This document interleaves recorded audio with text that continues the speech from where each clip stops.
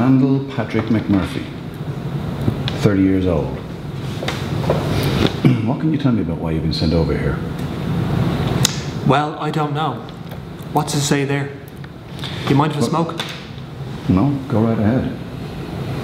Well, it says several things here. It says you've been belligerent, talked when unauthorized, that you've been resentful in your attitudes towards work in general, you, you're lazy. Chewing gum in class? Well, the real reason you've been sent over is because they wanted you to be evaluated to determine whether or not you are mentally ill. That's the real reason. Now, why do you think they might think that? Well, as near as I can figure out, it's because I fight and fuck too much. In the penitentiary? No. No, you mean? Why were you sent over here from the work farm? Well, I don't know, Doc. It ain't up to me. Well, let's take a look here. Huh? One, two, three, four. You've got at least five arrests for assault.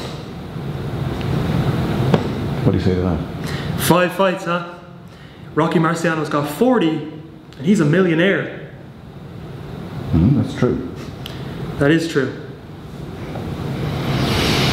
Of course, it's true that you went in for statutory rape. That's true as well, isn't it? Absolutely true, but Doc, she was 15 going on 35. She told me she was 18. She was very willing, you know what I mean? I practically had to sew my pants shut.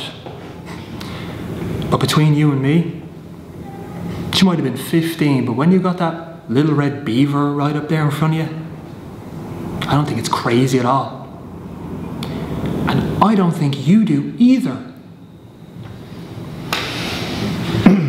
Well, I hear No man alive will be able to resist that. And that's why I ended up in jail. And now they're telling me I'm crazy over here because I don't act like a goddamn vegetable. It don't make a bit of sense to me. If that's what crazy is, then I'm senseless, gone down the road, wacko. But no more, no less. Let's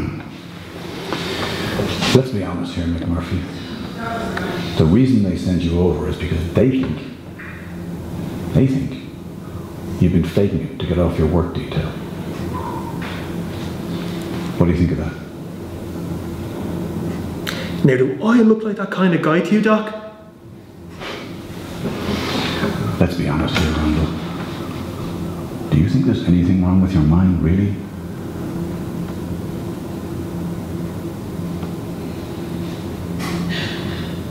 Not a goddamn thing, Doc. I'm a marvel of modern science. Well, you're going to be here for a while while we evaluate you. We're going to study you, and then we're going to make a determination as to what's the best thing to do. Then we'll give you the best possible treatment so that you. Let me tell you this, Doc. I'm here to cooperate with you a hundred percent. A hundred percent. I'll be right down the line with you. You watch. Because I think we ought to get to the bottom of RP McMurphy.